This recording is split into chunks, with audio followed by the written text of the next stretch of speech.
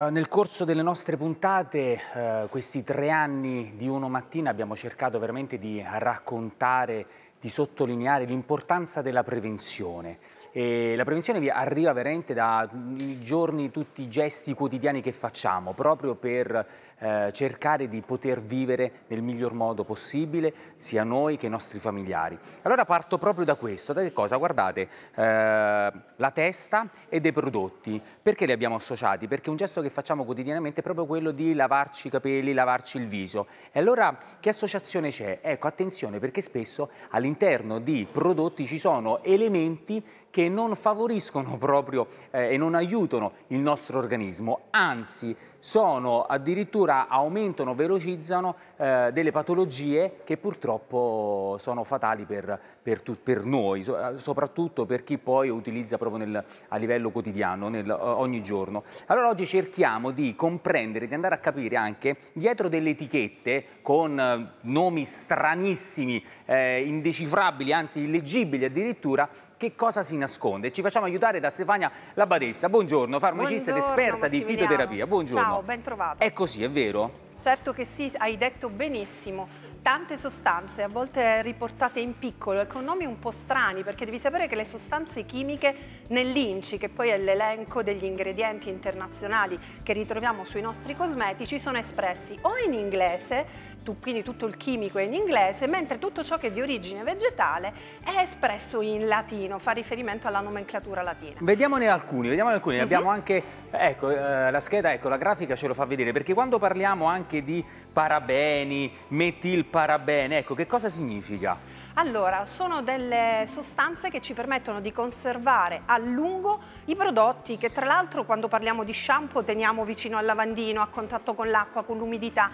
Quindi sono sostanze che li fanno conservare a lungo, però è anche vero che per far questo possono avere un impatto sulla nostra salute, ma anche sulla salute dell'ambiente, perché quando noi risciacquiamo i capelli certo. finiscono negli scarichi è di vero, casa. È vero. Allora, potremmo ricreare qualcosa di eh, naturale a casa? Ed certo efficaci sì. soprattutto poi? Certo che sì, eh. anche perché devi sapere che perché gli, arm guardi i capelli? gli armadietti... no, cioè, secondo me, confessa, hai risciacquato con l'aceto. Ancora no, ancora ho provato Ma con il miele. Ma lo farai da oggi? ho fatto, ho distrutto tutto. Lo faccio oggi. Allora, allora, pane, pane, non buttiamo il pane perché lo possiamo utilizzare, quindi il pane raffermo. Certo che sì, oltre che per una bella panatura in cucina, ecco. lo possiamo utilizzare polverizzato finemente nel nostro mixer da cucina e possiamo ridurlo in polvere sottilissima. Okay. Noi qui ci siamo portati avanti, Massimiliano, l'abbiamo già, già fatto, eh, quindi lasciamo qui okay. la, nostra, il nostro pan grattato e ci aggiungiamo su acqua. Solo acqua? Sì, quel tanto che basta per ricoprire, vai, okay. per ricoprire il nostro pan grattato. Lo lasciamo lì 30 minuti. Perfetto. Noi ci siamo portati avanti. Brava. E eh, quindi ce lo ritroviamo. Non Qui, è una ricetta questa, eh, non è la ricetta per mangiare, questa è la ricetta per avere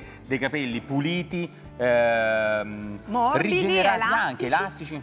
Vai, vediamo. Allora, fatelo e rispettosi dell'ambiente. E rispettosi dell'ambiente. Allora, dopo aver... Quindi li lasciamo qui 30 minuti. Okay. In questa ciotola ci ritroviamo già pronti con il pan grattato eh, che si è di nuovo reidratato. Perfetto. Mi, mi dai una mano? Certo. Aggiungiamo gli altri ingredienti.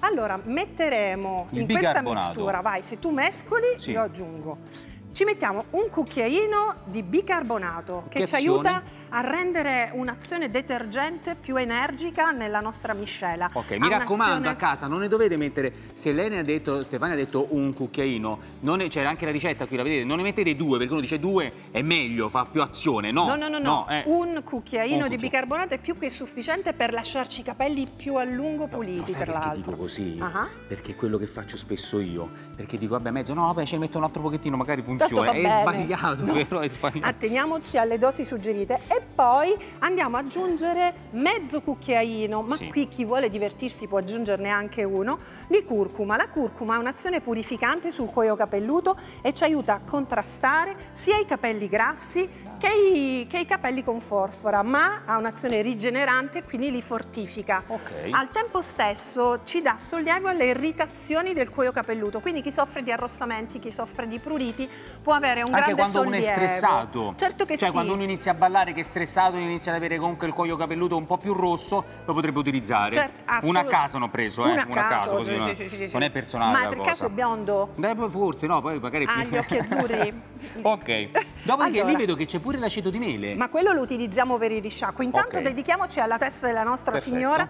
Lo applichiamo questo prodotto su capelli bagnati, quindi i nostri capelli sono già sciacquati. Quindi già siamo all'interno della doccia e ci siamo lavati. Ci siamo sciacquati i capelli, sui capelli bagnati andiamo ad applicare il nostro prodotto. Partendo dalle radici ci stendiamo verso le punte. Cioè noi facciamo proprio così quindi? Così.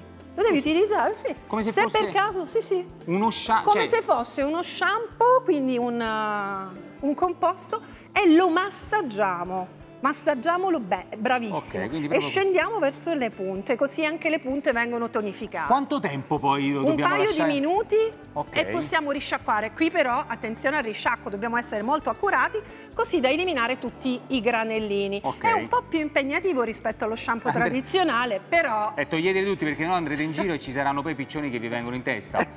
tutti, quindi neanche un granello. Ok. E alla fine ci prepariamo lì in doccia o sul lavandino un bicchiere contenente 2-3 cucchiai di aceto di mele o di aceto di vino bianco. Questo ci permetterà, grazie al pH dell'aceto, di richiudere le squame dei capelli Cioè, che capito, saranno scusa. più lucidi e morbidi. Stefania, perdonami, dopo aver fatto tutto questo, Ho mi- sciacquato, ho con risciacquato. acqua la testa bella pulita, Pulita. prima di uscire dalla doccia o di alzare Due. la testa dal lavandino, un cucchiaio, un bicchiere di acqua tiepida con dentro 2-3 cucchiai di aceto di mele o di aceto di vino bianco. basta? Basta, lo verso sulla testa e poi tampono. E tampono, non devo risciacquare? No, perché grazie all'aceto rendiamo i capelli più lucidi e più morbidi. Veramente? Non puzzo poi d'aceto? No, perché Ecco, l'aceto di mele non me lo e chiederei l'aceto- ciao. ciao. Perché Allora, l'aceto un La- po'... In queste situazioni, come mele, dico l'aceto sempre- di vino assolutamente no. Quindi Come, come dico sempre Stefania, per poter giudicare bisogna, in questo caso non lo assaggiamo, ma dobbiamo provare e quindi lo proverò. Oggi E- proverai- e oggi lo proverò e domani ti dirò allora, ti faccio sapere. Benissimo, fammi sapere, Va attendo bene. tue notizie. Fateci sapere anche voi a casa direttamente. Grazie. Grazie, grazie, Grazie a mille. voi. Grazie. Stefania, Grazie, tenteremo, grazie. tenteremo. Grazie. Vabbè,